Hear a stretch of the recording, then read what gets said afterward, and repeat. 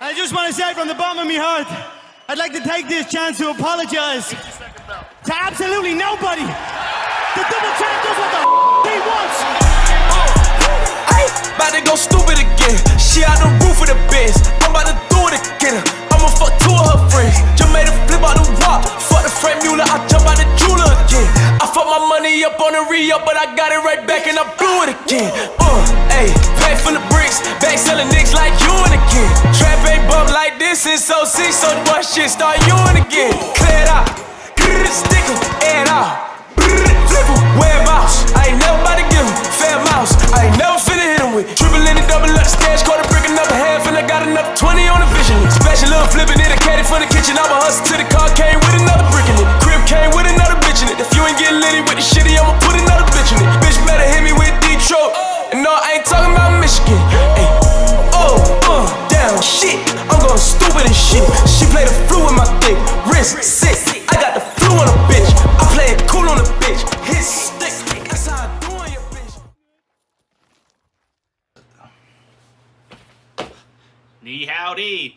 If you get that, comment below. Um, not a lot of people do get it, but um, it'll make you chuckle if you do get it, or once you do find out. Hello guys, it's been a while. I haven't been filming because all I've had was my Microsoft uh, Surface Pro to do all my filming. So I couldn't do a lot of gear reviews to get up close and personal, get all the details and whatnot. Uh, but now I have this sweet little setup. I got my little iPhone um, 11 Pro and a DJI Osmo 3. So what you saw in the beginning was recorded off this little setup. Pretty sweet, right? So uh, be expecting more content, more gear review. Let's get right into it. So today we're talking about um, war belts, tactical belt, utility belt, whatever the case may be. Um, one essential uh, purpose about a war belt is to carry a lot of accessories on your waistline without bringing your plate carrier there. It's great for the range. Um, it's just great, lightweight, um, easy, accessible to use. So here with me,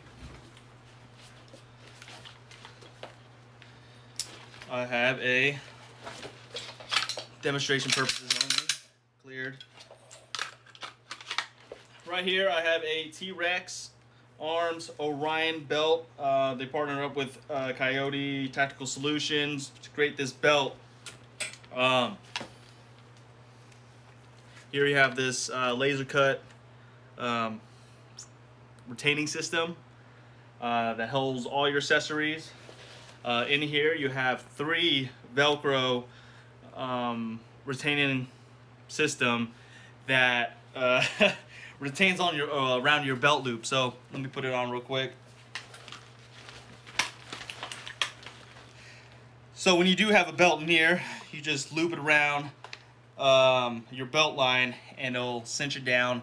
But I never use it because uh, these thigh straps and this bungee cord that I attach to my dump pouch uh, really does cinch it down.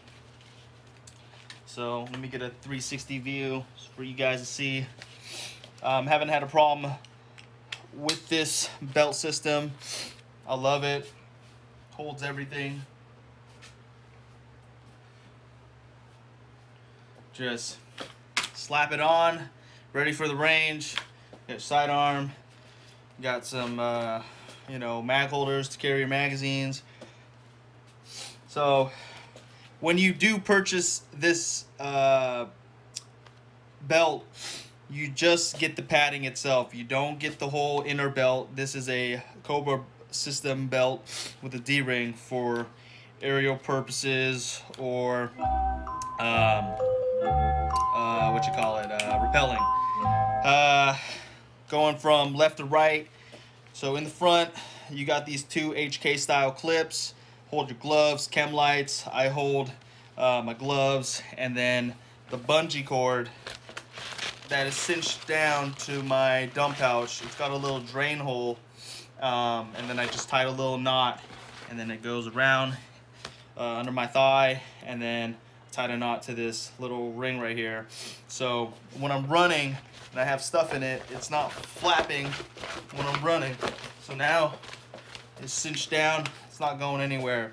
Uh, got an S-clip, chem lights, rip and go, um, two HSGI magazine holders, AR, AK, um, 308, 1911. I got these Glock mags in here.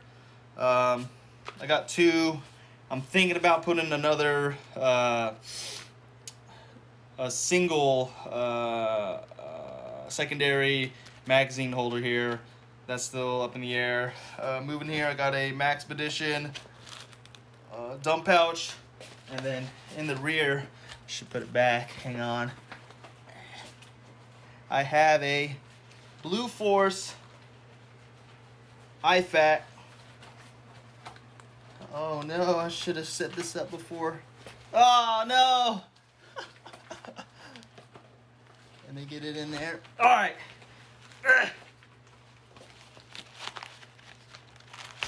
Okay, got it. Here in the rear, I got this Blue Force IFAK gear. Rule thumb, you want to get it, you want to be um, able to access your IFAK with either hand. So either you're shot with your left, you can reach it with your right, vice versa. So you got these pull tabs on the rear that can go either way.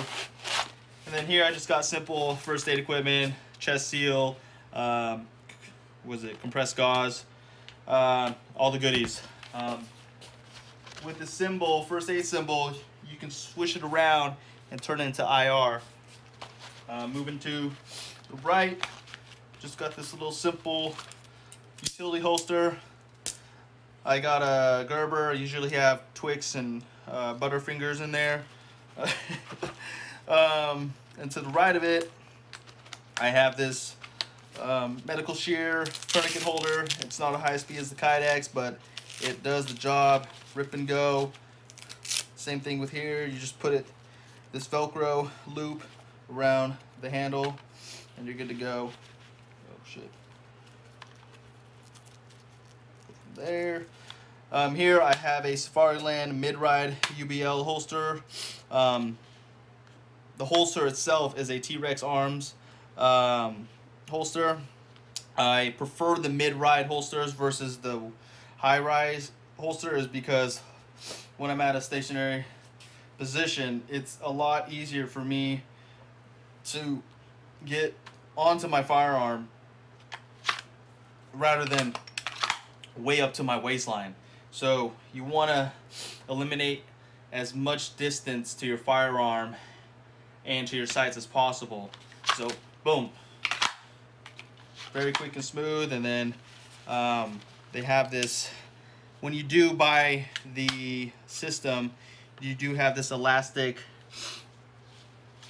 uh, thigh strap that goes around your thigh and it's it's it's it's amazing I haven't had a problem uh, and then just a regular gloves shooting gloves um, now out in the market they do have uh, like a two-part retention system with the war belt they have your inner belt which is primarily like velcro and then you attach the uh, I would say the the male side of the velcro over the female side um, one problem that I see with that is when you're wearing outer garment.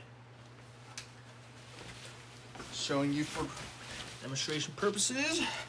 Uh, it tends to have a lot of excess around your accessories. Uh, let's go. So, you, as you can see, you got a lot of excess garment that's gonna be covering your accessories around your uh, war belt um, that could arise a problem but with this system I wear it over my garment and I don't have any problems with it. So there we go.